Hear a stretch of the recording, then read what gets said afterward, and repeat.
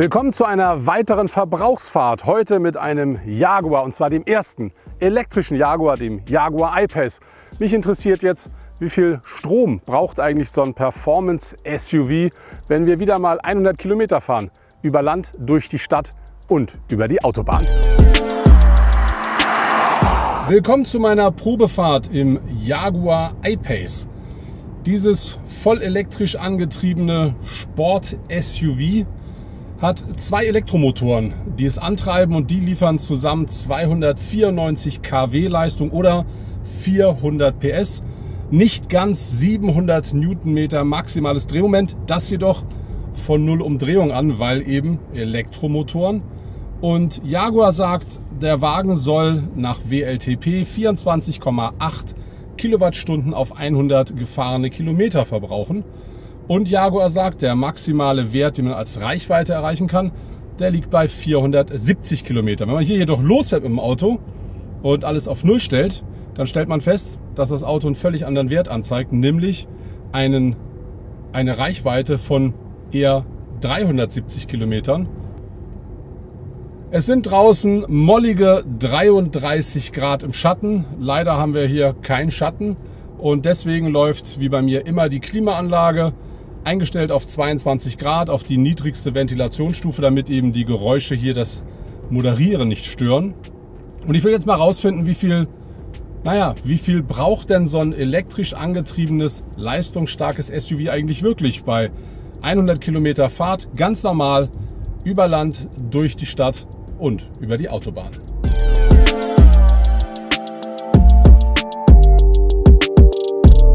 Der iPace wird angetrieben von zwei Elektromotoren, einen an der Vorder-, einen an der Hinterachse. Und somit bietet er zuallererst einmal Allradantrieb. Aber diese Elektromotoren liefern maximal 294 Kilowatt Leistung, also das heißt 400 PS umgerechnet und ein Drehmoment von maximal 696 Newtonmetern. Ganz wichtig aber, da es sich um Elektromotoren handelt, gilt das Ganze von der Umdrehung 0 an. Und das sorgt für doch recht ordentliche Fahrwerte. Der iPass ist zwar nur rund 200 Kilometer pro Stunde schnell, aber er beschleunigt in 4,8 Sekunden von 0 auf 100. Und jetzt schauen wir mal, was unser iPace so unter der Haube hat. Und hier finden wir keinen Motor, denn der iPace hat seine Elektromotoren vorne wie hinten direkt an der Achse. Aber was wir finden, ist ein 27 Liter großes Staufach. Und das ist zum Beispiel ideal, um das Ladekabel dort zu verstauen. Aber natürlich bietet der iPace auch einen vernünftigen Kofferraum. Und der hat bei aufgestellter Rückbank ein Volumen von 656 Liter. Klappe ich die Rückbank um, dann wächst das Ganze an auf 1453 Liter.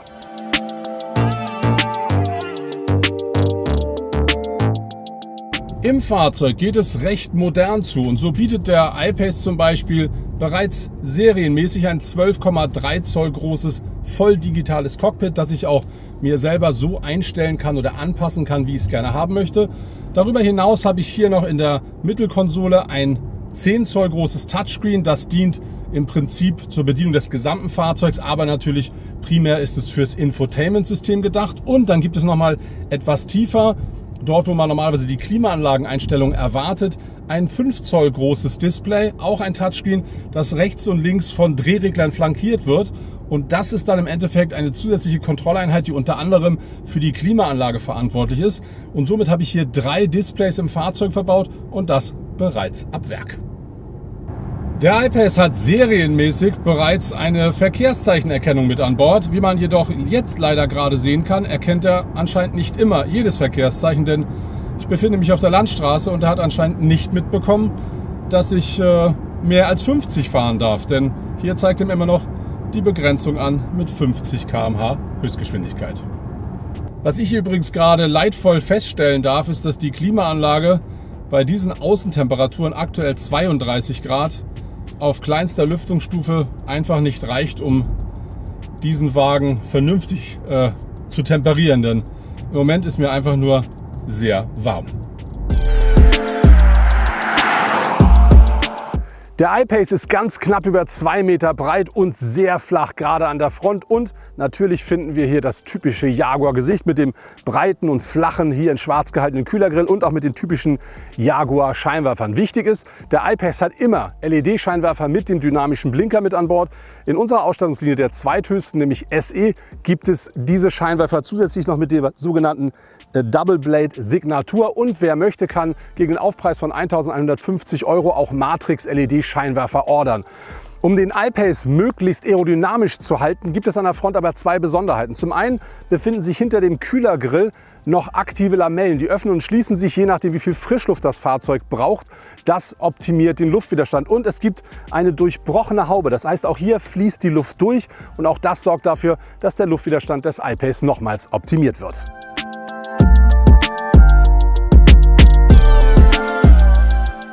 Der iPace bezieht seine Energie aus einer 90 Kilowattstunden großen Batterie, die hier im Unterboden des Fahrzeugs verbaut ist, zwischen den Achsen und die dort für einen sehr schön tiefen Schwerpunkt sorgt. Jetzt aber nochmal zur Reichweite. Wenn man sich anschaut, dass diese Batterie eben 90 Kilowattstunden hat und der iPace im Durchschnitt 24,8 Kilowattstunden auf 100 Kilometer verbrauchen soll, dann kann der Wagen gar nicht die 470 Kilometer maximale Reichweite anzeigen beim Start, die Jaguar angibt. Denn wenn wir mit 25 Kilowattstunden rechnen, um es uns einfacher zu machen, dann wären wir bei einem Faktor 4, also bei 400 Kilometern schon bei 100 Kilowattstunden, die wir in der Batterie haben müssten. Und daher kommt eben dieser Wert. Ich bin mir aber sicher, wenn man den iPace unter optimalen Bedingungen sehr sparsam und natürlich auch im Eco-Modus fährt, dann kann man diesen Wert sicherlich erreichen.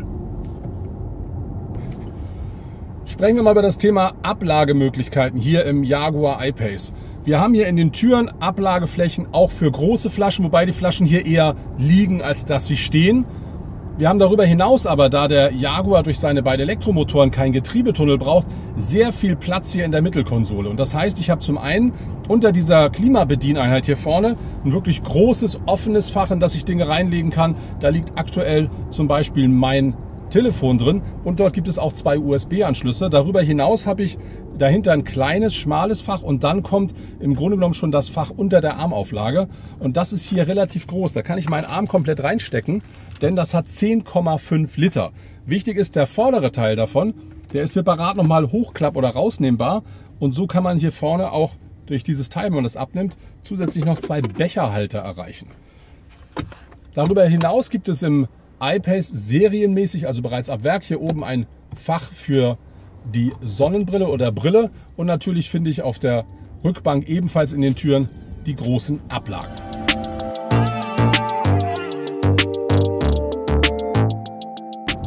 So, jetzt geht es auf die Autobahn und ähm, wir haben bis jetzt einen Durchschnittsverbrauch von 19,3 Kilowattstunden auf 100 Kilometer gehabt bei moderater Überlandfahrt. Und jetzt auf der Autobahn werde ich am Anfang mal ordentlich durchbeschleunigen, um zu schauen, was das Fahrzeug wirklich kann. Ein bisschen, eine kurze Zeit etwas schneller fahren, um mich dann nachher wieder mit der Richtgeschwindigkeit von 130 Kilometern pro Stunde auf der Autobahn einzureihen. Und jetzt schauen wir, was 400 PS im Elektroauto bedeuten. So, einmal Vollgas. Beschleunigung ist schon sehr, sehr ordentlich und sie ist vor allen Dingen sofort da. Unglaublich, jetzt schon 170. Der Wagen ist unglaublich flott dabei. 190, 200. Jetzt ist allerdings ähm, bei 200 merke ich, dass der, die Gasannahme zurückgeht. Äh, da scheint eine Regelautomatik drin zu sein, die sagt, N -n, so schnell wie du willst, darfst du dann doch nicht. Man ist aber, wie gesagt, sehr schnell da oben. Ich fahre jetzt, ich jetzt rund 130, weil der Verkehr vor mir das nicht, äh, nicht mehr zulässt. Und ähm, setz mal den Tempomaten bei 130, schauen wir mal. Und dann hört man hier im Auto nicht wirklich viel. Die Windgeräusche sind sehr, sehr gering. Motorgeräusche habe ich eh keine. Und ähm, das ist eine Atmosphäre, in der kann man sich wohlfühlen. Wirklich sehr schön ruhig. Aber mich interessiert natürlich, wie verändert sich das, wenn ich schneller fahre. Und das werden wir jetzt nochmal ausprobieren.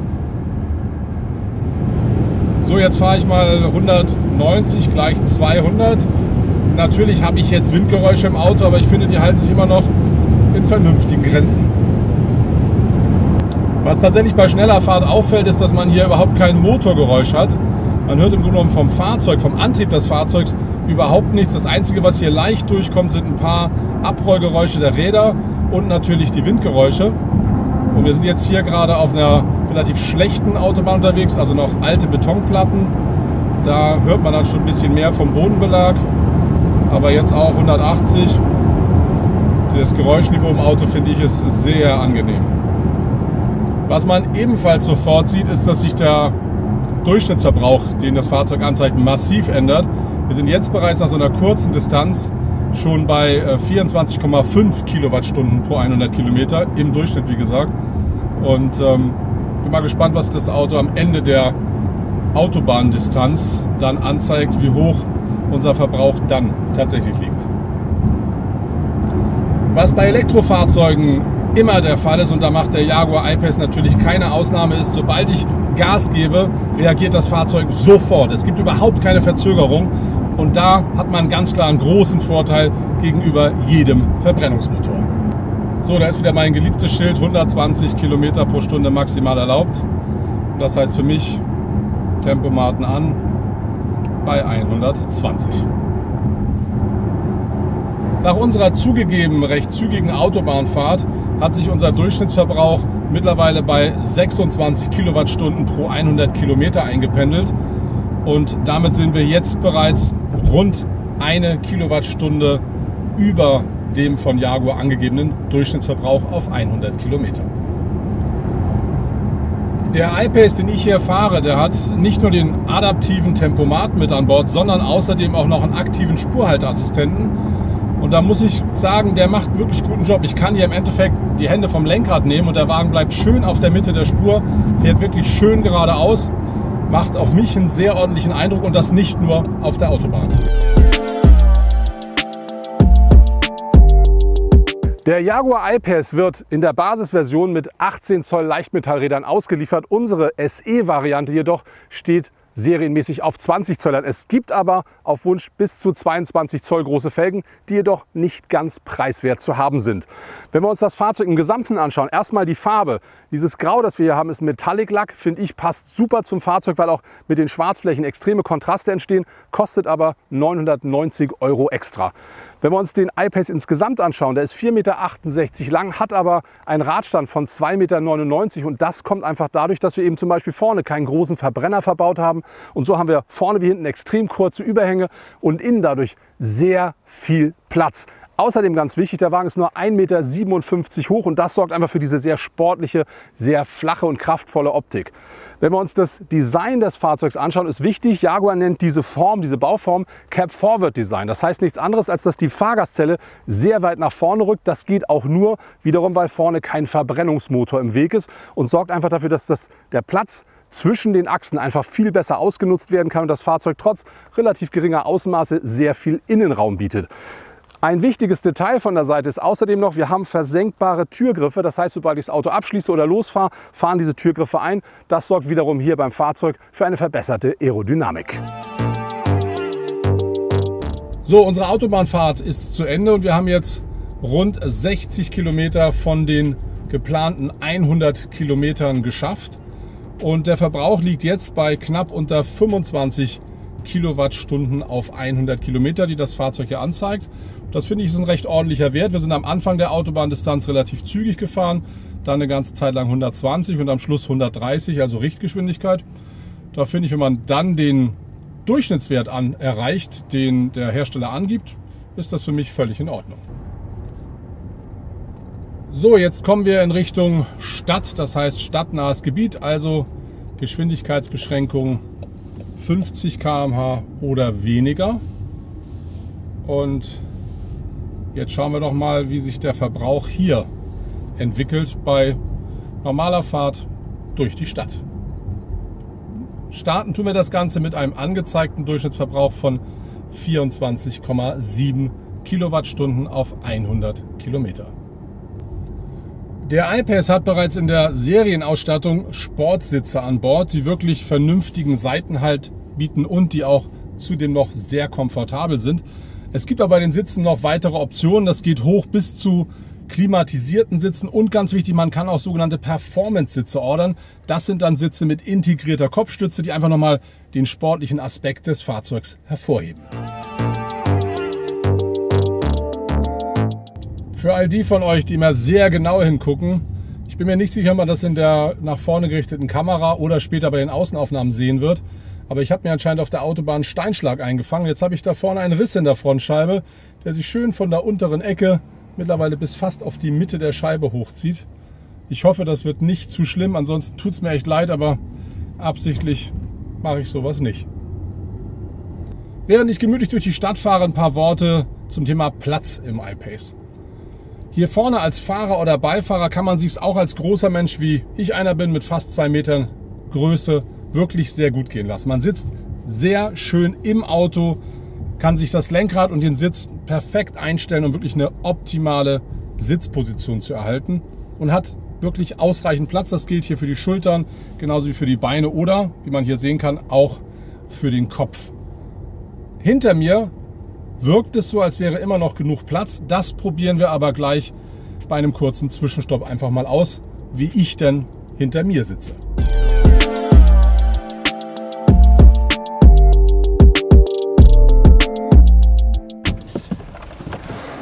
So, jetzt habe ich mal angehalten, um zu schauen, wie viel Platz ist eigentlich hinter mir im Jaguar I-Pace, wenn ich meinen Sitz vorne nicht verstelle.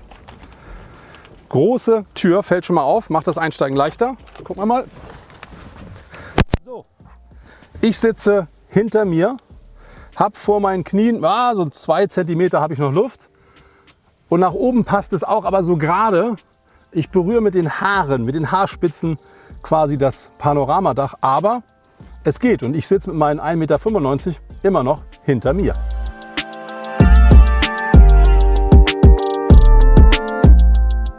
Obwohl der iPace, wie gesagt, sehr ordentlich ausgestattet ist, hat unser Fahrzeug hier trotzdem noch ein paar Extras an Bord, wie zum Beispiel das große getönte Panorama-Glasdach, was ich richtig schön finde.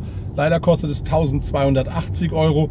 Was wir ebenfalls mit an Bord haben, ist ein Head-Up-Display, finde ich sehr schön, weil man einfach beim Fahren den Blick auf die Straße richten kann. Aber auch das gibt es nicht umsonst, das kostet hier 600 Euro. Und was ich ein bisschen schade finde, ist, unser iPace hat kein digitales Radio mit an Bord, denn das kostet bei Jaguar für dieses Fahrzeug 380 Euro extra. So, jetzt haben wir rund 70 Kilometer unserer Gesamtfahrstrecke hinter uns und sind jetzt in der Stadt. Und wie sollte es anders sein? Feierabendverkehr und eine Baustelle. Das heißt für mich Stop and Go. Mal gucken, wie sich das auf den Verbrauch auswirkt. Die Materialauswahl und auch die Verarbeitung hier im iPace gefällt mir wirklich sehr gut. Wenn ich zum Beispiel mir das Lenkrad anschaue oder auch Teile des Armaturenbretts mit einer Oberfläche, die an Alcantara erinnert, wirklich sehr schön anzusehen und auch schön anzufassen. Außerdem habe ich hier vorne sehr viele glänzende sag mal, Klavierlackoberflächen, Glasoberflächen und das Ganze eben abgesetzt mit zum Teil sag mal, Chromelementen. Und das wirkt einfach alles sehr harmonisch, auch gerade noch in Verbindung mit diesen drei Displays, die wir hier im Fahrzeug haben. Man muss allerdings dazu sagen, dass zum Beispiel hier vorne diese große Klavierlackfläche sehr schön aussieht, aber leider sehr anfällig für Schmutz ist. Und das gleiche gilt auch für diese vielen Bildschirme. Man sieht einfach jedes Staubkorn da drauf. Was mir im Auto nicht so gut gefällt, das sind hier diese äh, Velurstoffe in der, in der Tür oder zum Beispiel auch hier an den Sitzwangen. Das ist ganz ehrlich nicht mein Geschmack, aber Gott sei Dank gibt es für den Innenraum auch unterschiedliche Farben und auch unterschiedliche Oberflächen, wie zum Beispiel auch auf Wunsch schönes Leder.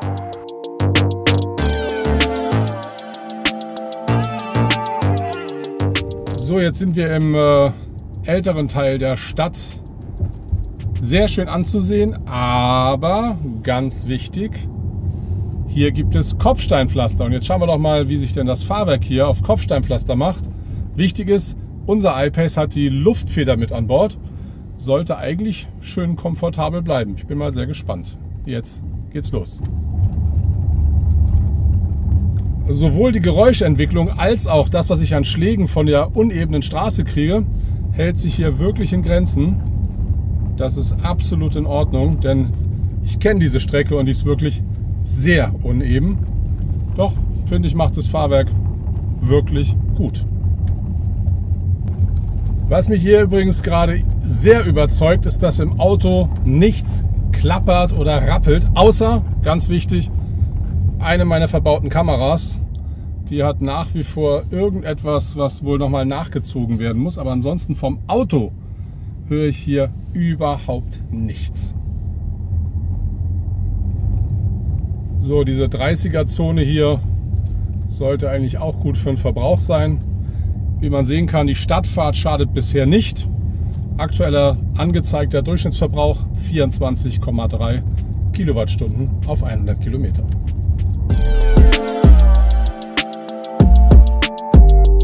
Das Heck des I-Pace hat, wie ich finde, seinen ganz eigenen Look, aber trotzdem finden wir hier natürlich auch typische Jaguar-Merkmale. So zum Beispiel die breit ausgestellten Schultern mit dem schönen Schwung über das hintere Rathaus und natürlich die Heckleuchten, die sich hier von der Seite ins Fahrzeugheck hineinziehen und die zum Beispiel hier diesen kleinen unteren Schwung haben. Den kennen wir zum Beispiel von alten Jaguar Sportwagen oder aber vom aktuellen F-Type. Ganz wichtig am Heck ist, wir haben eine sehr flache Heckscheibe und wir haben einen durchbrochenen Dachkantenspoiler. Und der sorgt dafür, dass zum einen so viel Luft auf die Heckscheibe kommt, dass der Heckscheibenwischer entfallen kann. Und ganz wichtig, er sorgt für eine deutlich verbesserte Aerodynamik des Fahrzeugs. Ansonsten finde ich, dass der I-Pace von hinten richtig kraftvoll auf der Straße steht. Und dieser sportliche Look, der wird nochmal unterstrichen durch den großen Diffusor unten am Fahrzeug. So, wir haben unsere Stadtfahrt abgeschlossen und fahren jetzt noch mal kurz über Land, bis wir die 100 Kilometer voll haben. Und aktuell zeigt der Wagen an 24,8 Kilowattstunden pro 100 gefahrene Kilometer. Also in der Stadt verbraucht er nicht mehr. Das Thema Rekuperation, also quasi das Zurückwandeln von Bewegungsenergie in elektrische Energie, die dann wieder die Batterie speist, ist ein Riesenthema bei Elektrofahrzeugen und natürlich auch beim Jaguar I-Pace. Der iPace bietet zwei unterschiedliche Rekuperationsstufen. Die eine ist quasi so, als würde ich bei einem normalen Pkw den Fuß vom Gas nehmen und gleichzeitig die Kupplung treten. Das heißt, das Fahrzeug segelt, sobald ich den Fuß vom Gas nehme und rekuperiert dann fast gar nicht. Die andere ist der sogenannte One-Pedal-Drive. Das heißt, in dem Moment, wo ich den Fuß vom Gas nehme, verzögert das Fahrzeug sehr stark und rekuperiert Energie und sobald ich wieder Gas gebe, geht es sofort wieder vorwärts. Das fühlt sich so ein bisschen an wie das Fahren mit einer Carrera-Bahn.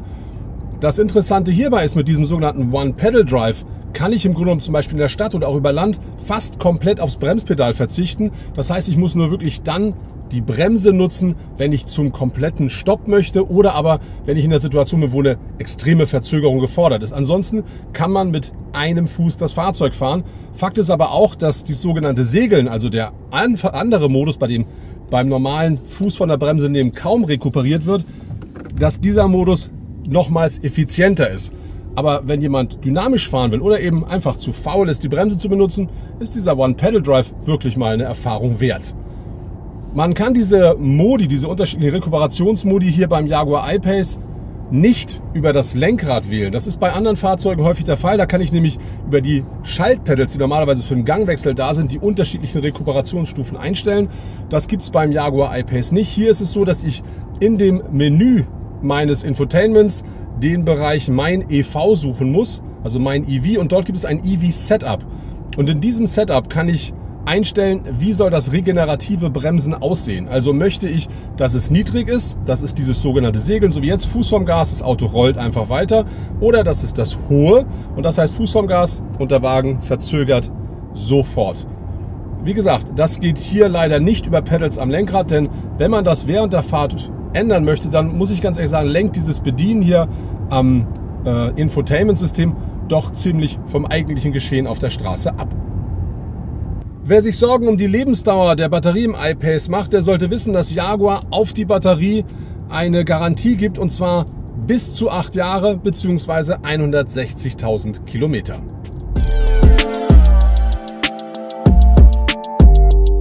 Grundsätzlich kann der Jaguar I-Pace mit bis zu 100 kW Ladestrom geladen werden. Und dann kann man sich schnell ausrechnen, dass man in rund einer Stunde an einem entsprechenden Schnelllader volllädt. An öffentlichen Ladestationen, so wie dieser hier, da findet man häufiger eher 50 kW oder 25 kW. Entsprechend länger dauert das Nachladen. Man kann den iPass aber auch zu Hause laden, denn er wird immer serienmäßig mit zwei Ladekabeln ausgeliefert. Eins eben für den Schnelllader und eines für die heimische Steckdose. Wichtig ist aber, zu Hause lade ich mit ungefähr 2,3 bis 2,5 kW. Und dann kann sich jeder ausrechnen, wie lange es hier dauert, wenn ich tatsächlich von 0 auf 100 Prozent eine 90 Kilowattstunden Batterie aufladen möchte.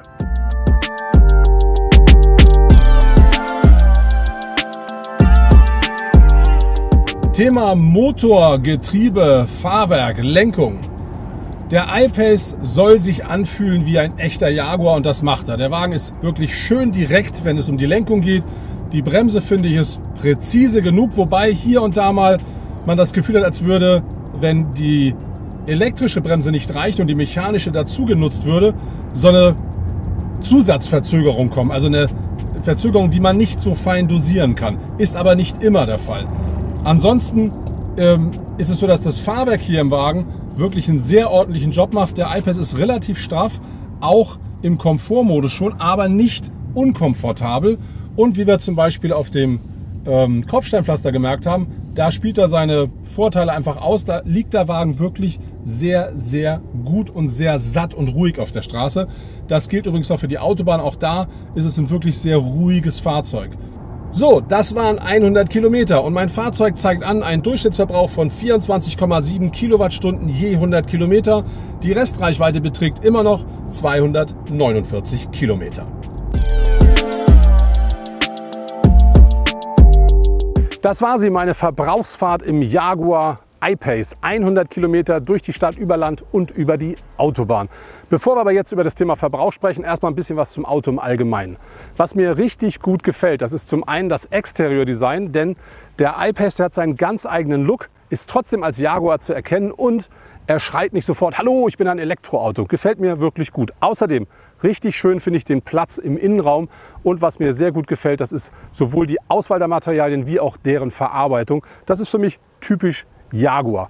Dann eine Sache, die mir nicht ganz so gut gefällt beim Fahrzeug, das ist der Preis. Denn der iPace startet bei rund 79.000 Euro in der Basis. Unser hier als SE startet bei 87.000 Euro und mit all den Extras an Bord knackt er sogar die 100.000 Euro Marke.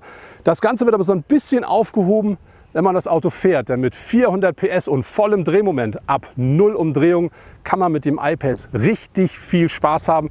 Aber man kann ihn auch einfach sehr schön ruhig fahren und dann die Ruhe im Auto richtig genießen. Jetzt aber zum Thema Verbrauch. Jaguar sagt, 470 Kilometer Reichweite sind möglich und der Durchschnittsverbrauch liegt bei 24,8 Kilowattstunden auf 100 gefahrene Kilometer. Am Ende unserer Testfahrt hatten wir 24,7 Kilowattstunden im Cockpit stehen. Also haben wir den Wert locker unterboten, ohne darauf zu achten. Das finde ich schon mal sehr gut. Aber wie soll ich mit einer 90 Kilowattstunden Batterie die 470 Kilometer erreichen, wenn ich eben rund 25 Kilowattstunden pro 100 Kilometer brauche. Da kann man relativ schnell rechnen, da weiß man sofort, wir landen bei rund 400 Kilometern. Bei uns waren es, glaube ich, ungefähr 370, die das Fahrzeug angezeigt hat beim Start.